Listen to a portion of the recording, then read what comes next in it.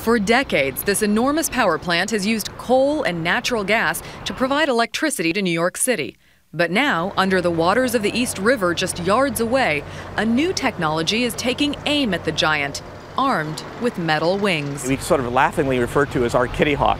Verdant Power is the first company to sell clean energy generated by river tides. Here in the East River, um, we get up to about five knots of current on a really good day.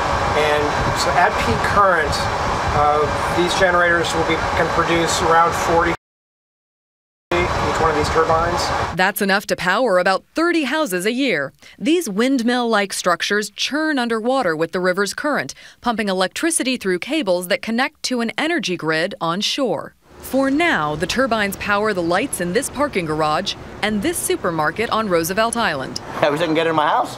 We have to pay so much money for, for gas and electricity. That's a great idea. But great ideas take time to develop into working models. At first, Verdant underestimated the river's power, and the blades kept breaking down. Now this third generation is retooled and more durable. We will be filing for a commercial license with the Federal Energy Regulatory Commission to uh, put in 30 turbines. Now the field has a potential for 300. There's where the MTA, the New York City MTA, has already expressed interest in buying that power.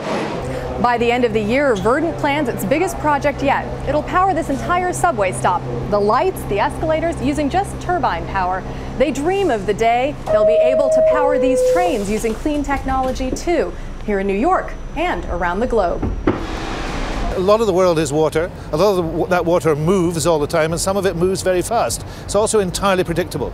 Scottish Minister of Environment Michael Russell came to see New York's progress with tidal turbines.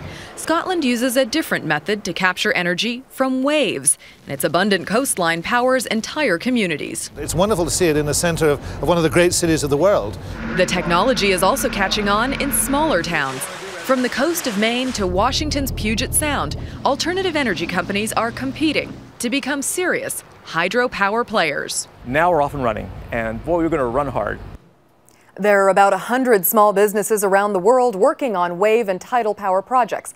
On the West Coast, Pacific Gas and Electric could soon learn if they'll be allowed to pursue a wave power plant off the Northern California coastline.